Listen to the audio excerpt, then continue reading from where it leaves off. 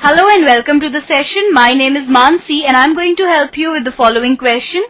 The question says find the equation of the circle with center minus 2, 3 and radius 4. So let us start with the solution to this question.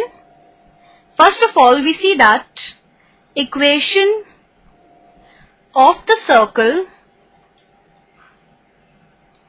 with center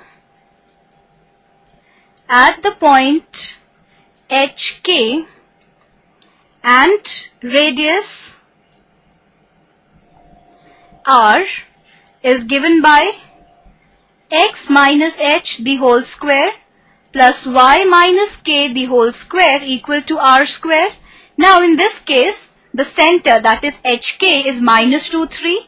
So we have h equal to minus 2 and k equal to 3 and r that is radius is equal to 4. So we simply put in these values in the formula this and we get x minus h. So x minus of minus 2 becomes x plus 2 the whole square plus y minus 3 the whole square is equal to 4 square.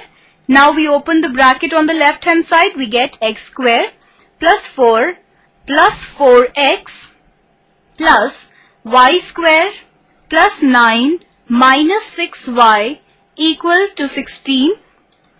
This implies that x square plus y square plus 4x minus 6y is equal to 16 minus 9 minus 4.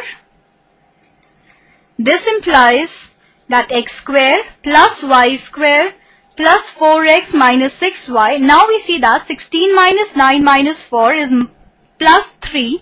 When it comes on the left hand side, it becomes minus 3 equal to 0.